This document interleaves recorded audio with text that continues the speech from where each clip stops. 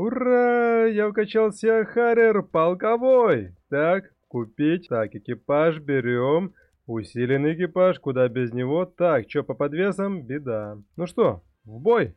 О, кабина. Исторический момент. Пуск первой ракеты. О, попало.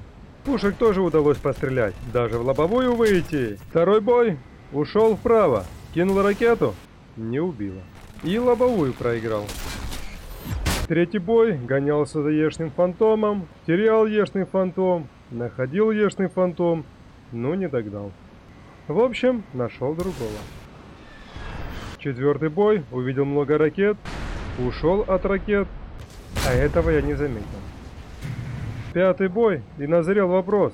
Как на этой штуке уворачиваться? Она не поворачивается. Шестой бой. Больная тема. Ракета проигнорировала ловушки.